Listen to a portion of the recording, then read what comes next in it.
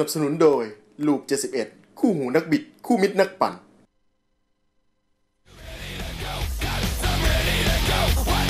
ครับผมนะครับ ขอต้อนรับผู้ชมนะครับกลับเข้าสู่รายการ Speed Rider ในช่วงที่ 2 ครับ แน่นอนครับ ช่วงนี้เราพบกันเป็นประจำทุกวันศุกร์นะครับวันจันทร์วันศุกร์เวลา 18นาฬิกา30 นาทีถึง 20นาฬิกา40 นาทีครับพร้อมที่จะตอบปัญหาเกี่ยวกับรถจักรยานยนต์ไม่ว่าจะเป็นในเรื่องของรถเล็กรถใหญ่รถใหม่รถเก่า นะครับรวมไปถึงการอัปเดตข่าวสารต่างๆ เกี่ยวกับวงการมอเตอร์สปอร์ตนะครับก่อนอื่นก็ต้องขอขอบคุณนะครับผู้สนับสนุนใจดีของเราก่อนนะฮะนิตยสารรายเดือน Fast Bike Thailand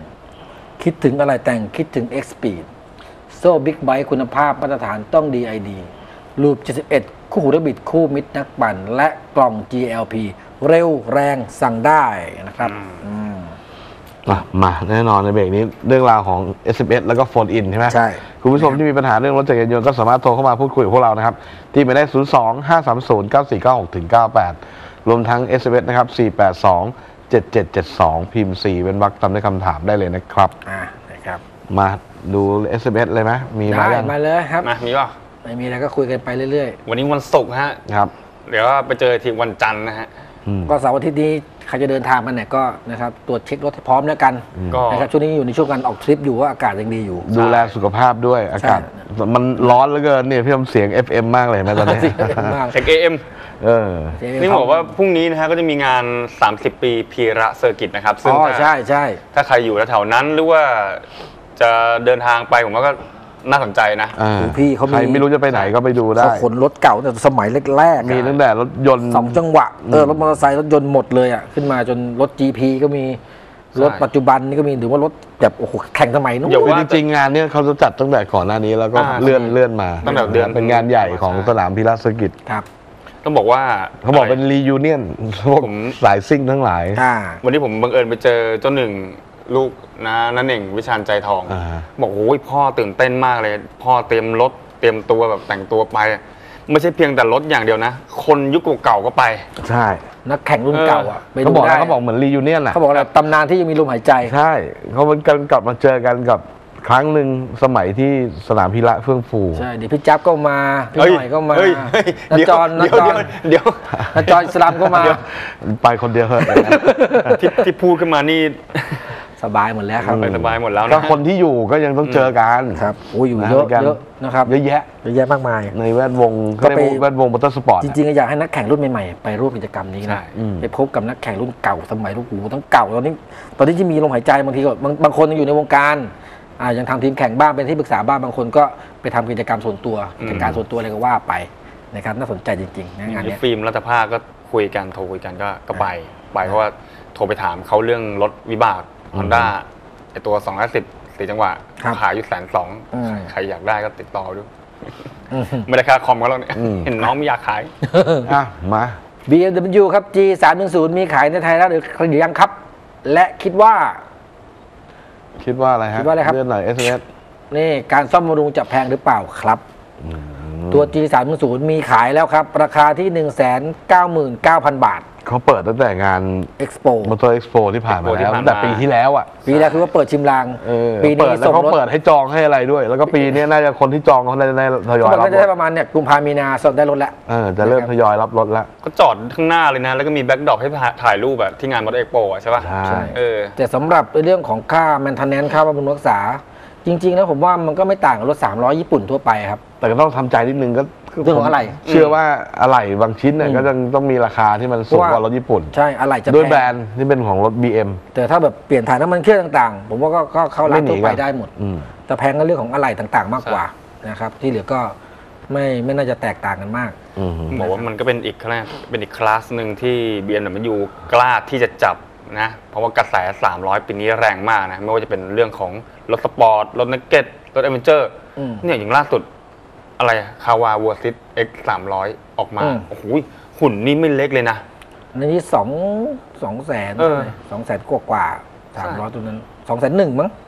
เพราะว่ามันมี option นู่นนี่นั่นเสริมมาถ้าตัว300ธรรมดาอยู่ที่ประมาณแสนเจ็ดถึงแสนแปดอืมถ้าเป็นตัวที่เป็น Versys X เนี่ยมันจะเพิ่มประมาณสักสองหมื่นมันก็ประมาณสองแสนหนึ่งโดยประมาณดูมันบึกดิเออ รอรอใช่ ผมเคยไปนั่งคอมนะกำลังดีไม่น่าสูงสนไม่เล็กใจไม่เลตัยวนะเออกำลังดีนะครับเขาบอกว่า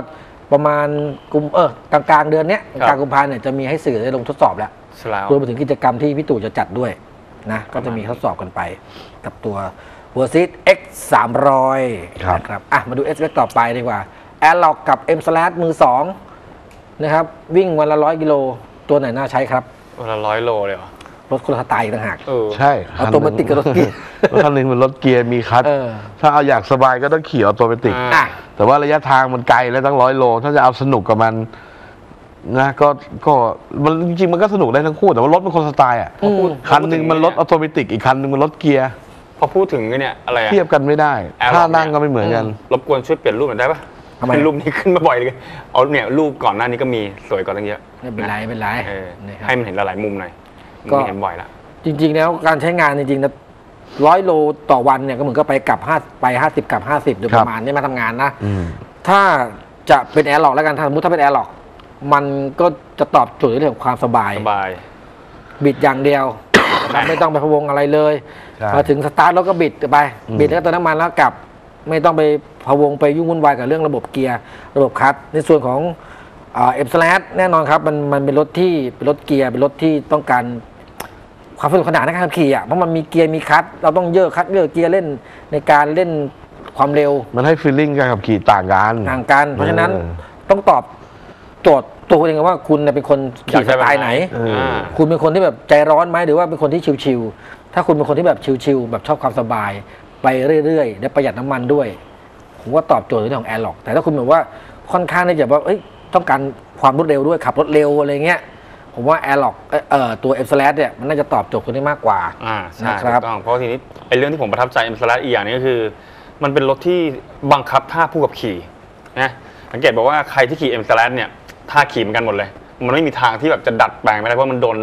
มันโดนตำแหน่งแฮนด์โดนตำแหน่งพักนั่งหลังเท้าตรงอะเบาะนั่งแบบบล็อกเอาไว้เรียบร้อยอืมแล้วขี่เนี่ยรู้สึกว่ามันสมาร์ทอะขนาด 150ซีซีเท่านั้นเองนะรู้สึกมันสมาร์ทแล้วก็ถือว่าเป็นรถแฟชั่นที่น่าสนใจอีกรุ่นหนึ่งนะป แล้ระวมาณแต่แล้วแต่ชอบเลยอืมรถชอบคนละแนวกันก็บอกดูดูนิสัยของคุณก่อนใช่ถ้าคุณเป็นคนที่ชอบความสบายก็แอร์ล็อก ถ้าคุณที่ชอบแบบความรวดเร็วแบบวิดป๊าดจัดใจแบบ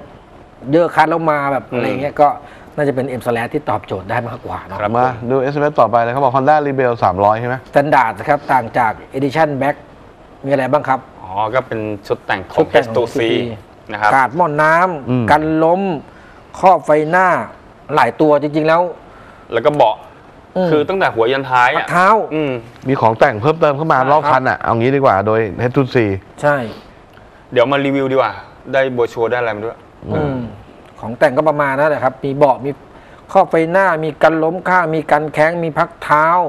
มีมือเบรกสำหรับใครที่แบบอยากได้รถที่ไปแล้วไม่ต้องแต่งอะไรแล้วก็ไปดู Back Edition แต่ผมว่า แต่ถ้าเกิดคนที่ชื่นชอบในการตกแต่งรถซื้อตัวธรรมดาใช่ใช่แล้วก็ไปแต่งเป็นสไตล์ของเรา อืมซื้อหาของมาใส่เองน่าจะสนุกกับมันมากกว่า ใช่ะอันนี้ Back Edition มันทำสำหรับแต่งมาจากโรงงานแล้วอะอ่าอืมเหมาะสำหรับคนที่ขี้เกียจ อะนิดเอานึงมาแล้วใช้งานเลย ขี้เกียจอะ ไม่ต้องไปนั่งแต่งแล้วอะไรอหรืย่างว่าเงี้ชอบยชอบแบบหล่อๆแบบทีหรือว่าเห็นแล้วจบมันโดนแล้วมันเข้าตาแล้ว Back Edition สวยแล้ว ก็จบแค่นั้นอืมแค่นั้นเองใช่ ไม่ได้มีอะไรแตกต่างกันทุกอย่างเครื่องยนต์เครื่องยนต์อะไรเหมือนกันเหหมืมอดนกันครับใช่แต่งกันที่อุปกรณ์ตกแต่งเพิ่มเติมเท่านั้นเองครับ ต้องบอกว่าตัวนี้น่าเล่นอะอ่าเขาบอกก็ว่าเป็นคัสตอมบับเบิล เมื่อไหร่จะเอามาให้ขี่นะครับได้อยากลองเพิ่งจะขี่เปิดบ้างตัวเลยห้าร้อยพี่ผมน่าน่า อยากลองก็ห้าร้อยตั้งแต่ห้าร้อยแล้ว เออเดี๋ยวเขาจะมีกิจกรรม ใช่ ใช่ไหม คุยกับเขาไว้แล้วก็คือเป็นกิจกรรม Grand Touring ซึ่งจะรวมทั้ง 500 แล้วก็อืม300 เข้าด้วยกัน ครับแล้วก็ขับขี่ไปเหมือนกับที่ผมขี่ไปไปขี่ที่เชีเชียงงใหใหม่ ม่อืมเชียงใหม่นั่นคือเป็น Grand Touring เวอร์ชัน Honda CRF 250 Rally เอาใกล้ๆหน่อยใช่ไม่ต้องไปไกลขนาดนั้นแต่เดี๋ยวคราวนี้ กลับมารายการไม่ทัน เขาน่าจะไปภูเก็ตหรือไงเนี่ยโอ้โห เอาใกล้เอาใกล้ๆเอามาเอามา test ได้อะไรงั้นมา test ส่วนตัวดีกว่า เดี๋ยวเดี๋ยวยืมทหารตูไปให้จัดการมาแล้วต้องบอกว่าตัวนี้นะจะฮะได้มาเล่าให้คุณผู้ชมฟังเลยว่ารถมันขี่ดีไหมด้วยกันครับผม confirmต้องบอกว่าตัวนี้เนี่ยเป็นหนึ่งใน 19 รุ่นนะครับที่ Honda ประกาศออกมาแล้วว่า จากนี้ไปอีก 3 ปีเนี่ยสามปีอะจะมี 19 รุ่นออกมา โดยที่ไม่รวมกับรุ่นที่เป็นเขาเรียกอะไรที่มีขายอยู่ตอนนี้ ไม่ใช่ฮะไม่ไม่ใช่รุ่นที่แบบไม่ได้เชน เออเก็บสติกเกอร์ไม่รวมนี่คือ 19 รุ่น 3 ปี 19 รุ่นที่เป็น new model แบบ all ก็ new คือที่จะออกมาใหม่ไงใช่ใช่ไหมเออเพราะฉะนั้นเนี่ยต้องบอกว่าเนี่ยคือออกมาแล้วหนึ่งแปดรุ่นอืมเยอะนะ ก็ถือว่าก็ถือว่าเป็นธรรมดาเขาบอกว่าสามปีเนี่ยเต็มที่ก็ไม่น่าเกินสิบรุ่นอืมทุกทีที่เปิดอาจจะปีละสามค่าปีละสามรุ่น ปีละสี่รุ่นอ่าฮะที่ สามปีนี้เอาสิบเก้ารุ่นเลยนี่ถือว่าก็รอดูไปก็เป็นเรื่อง Honda จัดหนักนะเป็นผลดีต่อผู้ใช้อย่างเราเราครับไปมีตัวเลือกเพิ่มขึ้น ใช่นะอะครับไม่งั้นเดี๋ยวช่วงนี้เราไปพักเบรกโฆษณากันสักครู่ ช่วงหน้ากลับมากับรายการ Speed Speed Rider Rider ครับ